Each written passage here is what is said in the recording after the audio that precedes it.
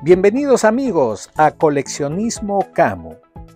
Como ustedes han podido observar en el contenido de mi canal, he tenido la oportunidad de viajar a varias ciudades, pueblos y algunos países en busca de tesoros escondidos.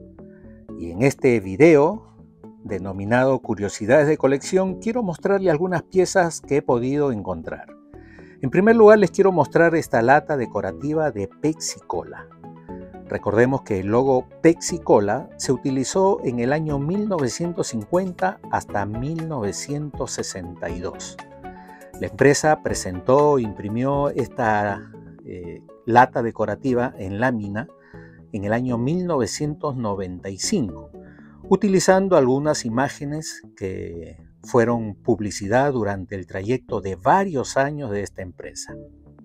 Pero aquí en Coleccionismo Camo, como impartimos arte, entretención y cultura, queremos compartir el significado de pexicola. Este es el fruto de la combinación de los términos pexina, una enzima digestiva que se crea en el estómago, y cola, derivado de la nuez de la cola. Eso significaba pexicola.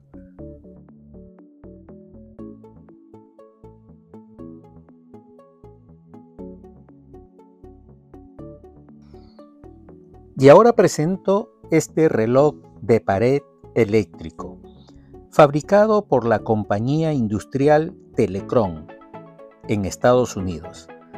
Data del año 1950. Es de 115 voltios.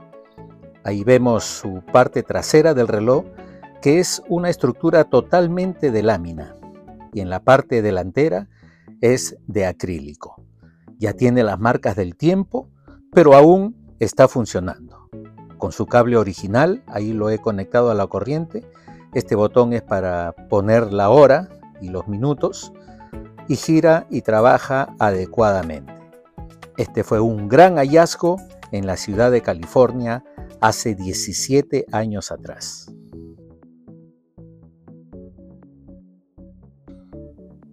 Y ahora algo histórico. Máquinas de cortar el pelo datan del año de fabricación 1959. Este es un estilo manual y su fabricación o estructura es de acero inoxidable. Este no fue un hallazgo buscando tesoros escondidos, sino fue un gran y apreciado regalo de parte de mi padre, que como aficionado a cortar el pelo, hace muchos años atrás guardó estas reliquias.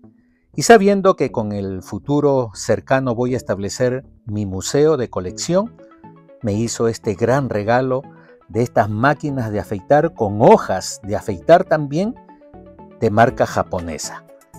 Pero realmente son tesoros que van a ir al museo y actualmente están en las vitrinas de coleccionismo Camo.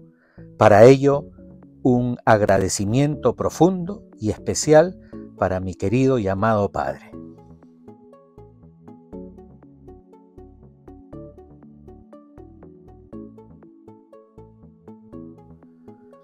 Continuando con curiosidades de colección, en busca de tesoros escondidos, artículos que fueron encontrados hace mucho tiempo atrás en visitas a flea market, pulgueros, casas de antigüedades les presento este hallazgo.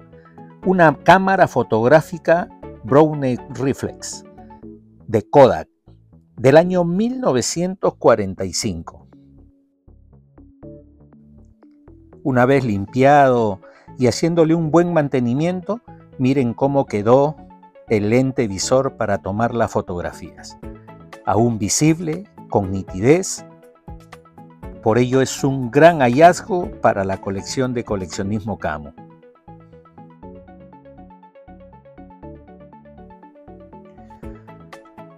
Aquí está el disparador para tomar la fotografía, aún funcionando. Y en este lado de acá, delantero, está el conector para instalarle una luz adicional.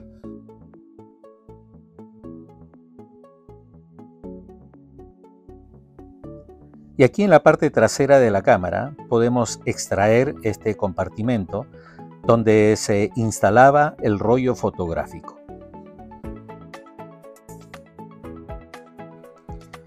Aquí tomaba las fotografías y posteriormente había que hacerlas revelar.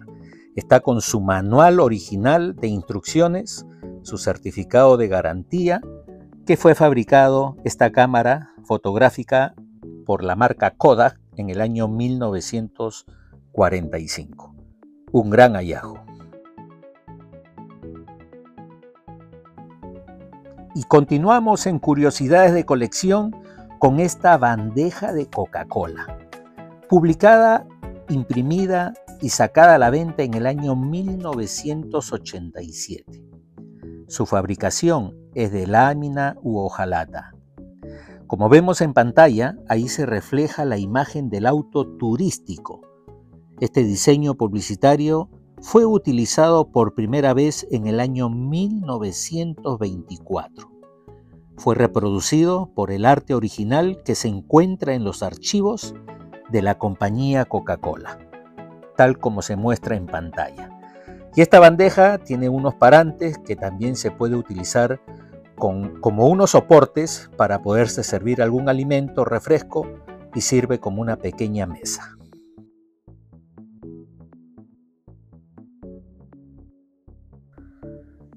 Y ahora estos letreros pero son en hierro fundido. Ya se imaginan ustedes el peso que deben de tener. Aproximadamente cada uno de ellos pesa un kilo, equivalente a 2.2 libras. Estos letreros fueron utilizados por garajes, gasolineras en tiempos antiguos. La data es del año 1953 y están ahora aquí en las vitrinas de coleccionismo Camo.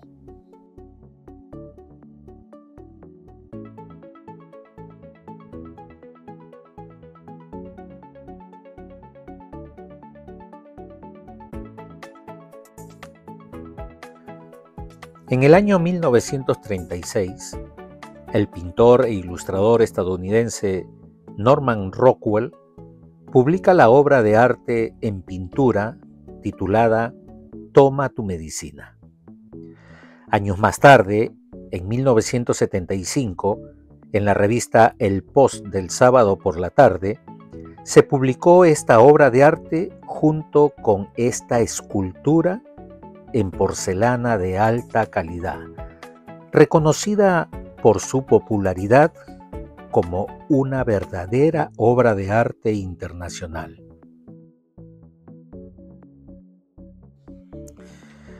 Esta obra maestra en escultura en porcelana fina está hecha y pintada a mano, utilizando materiales de alta calidad.